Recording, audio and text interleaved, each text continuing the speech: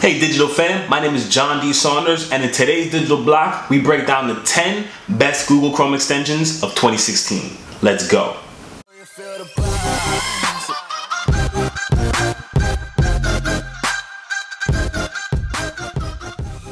By now, you most likely use Google Chrome, right? In short, it's a super fast web browser developed by Google to gather all of our information. I'm kidding. Or am I? No, but really, it's the best web browser out. I mean, Safari, Internet Explorer, Firefox is probably its best competitor.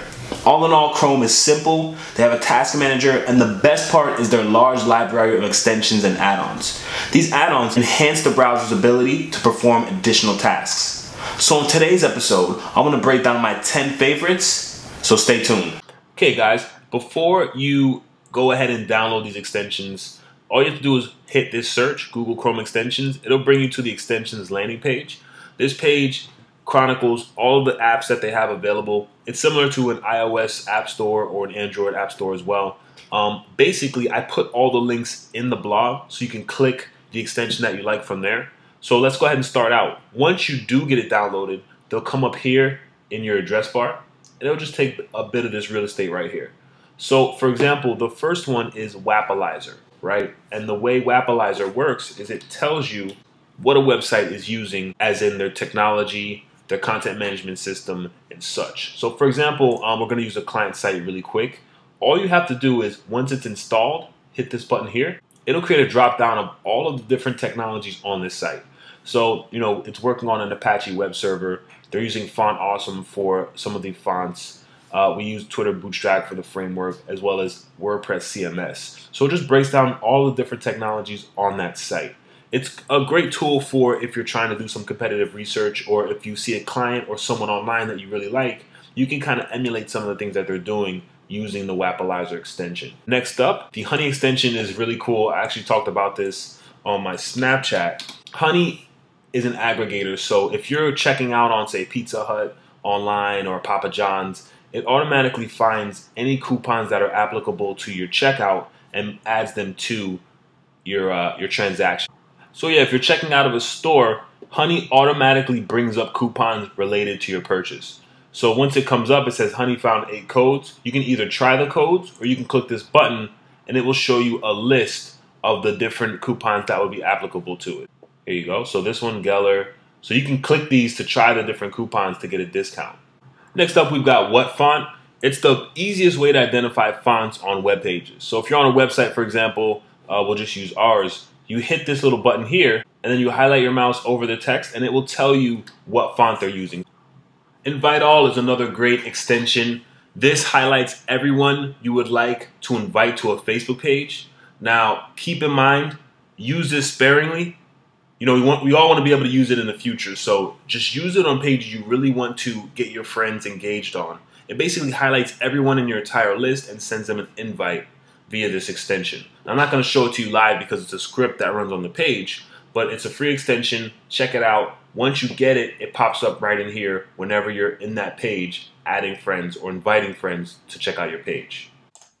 Mozbar is a pretty cool extension by the SEO company Moz. They provide a lot of services and platforms for us to use. Uh, what it does is breaks down in a really basic way uh, on-page comparison when you're using Google search. So it adds SEO attributes to a lot of things you're doing. So for example, I did a search for Miami Spa. Um, these are the results that it gave me, and I can kind of look at an overview of how many links they have in comparison. You can see these two have 428, this one has 264. Domain authority for this site is 86, but because this one has more high quality links, they rank organically just a little bit better. So it'll give you a quick bird's eye view of some SEO attributes. Really, really cool tool. So Page Analytics is pretty cool. It's kind of like a heat map using Google Analytics. You have to have analytics installed on your website in order to pull this data. But for example, so if we come here and we hit on, we'll get this nice area here and we'll be able to see where individuals are clicking on the site. Next on our list is Momentum. It's a really cool integration that you can add on there for extensions. Basically, whenever you open up a new tab, it opens up a cool window that gives you the time, search, your to-do list. You can search Google from here, and you can actually see popular links as well. So this is a cool integration. Anytime you're opening up a new tab, you can kind of get a bird's eye view of where you're at in that day. You can get these cool quotes at the bottom that you can retweet. Next on our list, we've got OneTab, which is pretty freaking awesome. So with OneTab, you can have a ton of windows open. And with one click, you can convert all those tabs into a list. So for example, we've got about seven open right now. Let's go ahead and hit open tab and you can see that it condensed it all into a list. Now, what I can do is open one, maybe I'm focusing on this page, and focus on that instead of having or having 15,000 tabs all up here, making it confusing for me. So here I can see all of them. You can restore them, you can delete them, and you can do even more by naming the tab group, locking the tab group, and more. So it just helps you really organize your workflow and your, your dashboard pretty much. Grammarly is another cool one. It checks your spelling and grammar as you type. So it's good for if you're writing blogs online, you don't really have a spell checker that you use. This extension works in the background to make sure you're doing your thing when it comes to grammar. When Grammarly finds an issue, it'll highlight it in red. All you have to do is highlight your mouse over it and it will give you a recommendation. So here I meant to spell spell checker as two words. So all you have to do is click the green and boom, it'll update it for you. And lastly on our list, we have Check My Links. Check My Links is great. It lets you read a page to find out if there are any dead links on it.